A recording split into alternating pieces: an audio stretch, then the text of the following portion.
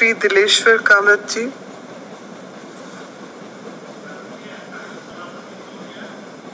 वर्ष 2021-22 के लिए रेल मंत्रालय के मंत्रालय के निर्माणाधीन अनुदानों की मांग पर चर्चा के लिए आपने जो समय दिया, उसके लिए मैं आभार व्यक्त करता हूँ।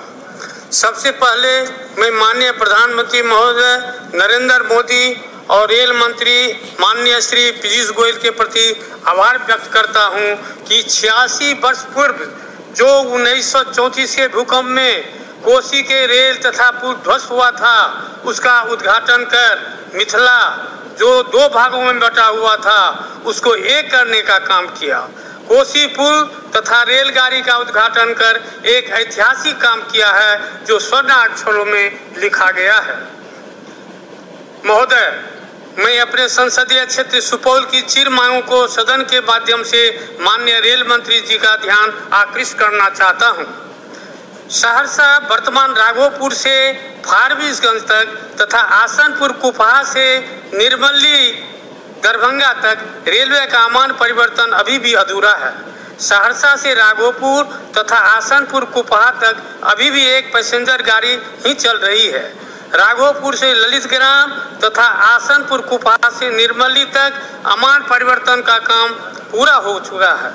उक्त रेलखंड पर जल्द से जल्द सीआरएस इंस्पेक्शन करवा करके इसे, इस पर रेलगाड़ी चलाया जाए। महोदय, गानापुर से सहरसा तक गाड़ी संख्या तेरह दो सौ पाँच, तेरह दो सौ छः जनहित एक्सप्रेस। तथा नई दिल्ली से Saharsa Vaishali express train number पच्चीस सौ चौवन, पच्चीस सौ तिरपन चलती है। इन दोनों ट्रेन को सरायगढ़ तक विस्तार किया जाए, जिससे नेपाल सहित कोसी क्षेत्र की जनता को लाभ मिल सके और यह जन, उस क्षेत्र की जनता का बहुत पुरानी मांगे हैं। महोदय, अररिया, गलगलिया, नई परियोजना जो तेज़ी से चल रही है, इस बजट सत्र में मात्र आपने एक हज़ार रुपये का आवंटन किया है। फलस्वरूप काम रुक गया है। इसके रिविज, इसे रिवीजन कर रिवाइज आवंटन का काम कुछ चालू रखा जाए जिससे आज़ादी के बाद पहली बार इस पिछड़ा क्षेत्र के लोगों को रेलगाड़ी देखने का मौका मिले।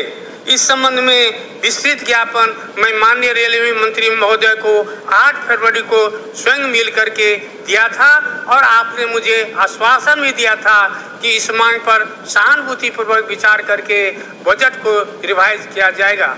इस पर मैं विशेष रूप से ध्यान के लिए आपका ध्यान आकृष्ट करना चाहता हूँ। और अंत में सामरिक दृष्टि से महत्वपूर्ण रेल लाइन जो प्रतापगंज से भीमनगर बथनाथ अट्ठावन किलोमीटर नष्ट हुआ था, जो ब्रिटिश से टाइम में उन्नीस से भूकंप के पहले, वो अभी भी वैसा का वैसा पड़ा है, लाइन का जो सामान है, ज़मीन जो है, वैसा ही पड़ा हुआ है। इसे पुनः चालू कर नेपाल के साथ जोड़ा जाए, जिससे सीमावर्ती एवं कोसी क्षेत्र के गरीब जनता को इसका लाभ मिल सके। इन्हीं शब्दों के साथ मैं अपनी बातें समाप्त करता हूँ और वर्ष 2021-22 के लिए रेल मंत्रालय मंत्रालय के निर्माधीन अनुदानों की मांग का समर्थन करता हूँ। बहुत बहुत धन्यवाद।